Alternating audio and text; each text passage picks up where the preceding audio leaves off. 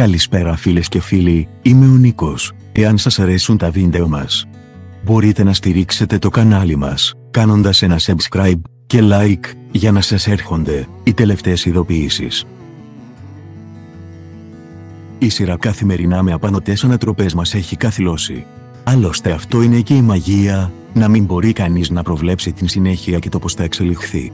Σύντομα θα δούμε πολλά, τόσα νέα πράγματα που η πλοκή της σειράς θα αλλάξει ριζικά. Αυτά όμως που θα μείνουν ίδια είναι τα μυστικά, οι γόνοι, ενώ όπως μαθαίνουμε θα έχουμε και μία απαγωγή. Όλα αυτά μέσα σε λίγες μέρες. Η Δημητρά η νέα υποστηνόμος η οποία μπήκε για τα καλά στη ζωή μας, είναι ένα από τα πρόσωπα που θα μας απασχολήσουν. Βλέπετε η νέα αστυνόμος της σειράς έχει ήδη πολλά ανοιχτά μέτωπα. Πέρα ότι θα πει στο μάτι του υπόκοσμου και θα την θέλουν νεκρή, κρύβει και πολλά μυστικά. Μάλιστα κάποια από τα μυστικά της θα τα βρει μπροστά της, και θα τα δούμε και εμείς.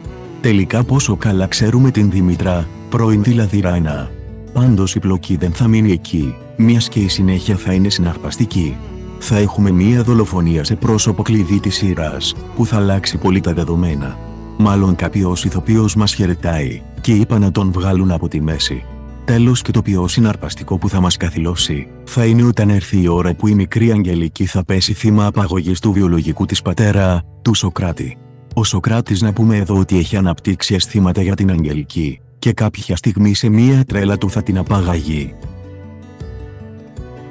Μείνετε συντονισμένοι στο κανάλι μας, για να μαθαίνετε πρώτοι όλες τις εξελίξεις, έρχονται πολύ συναρπαστικά επεισόδια.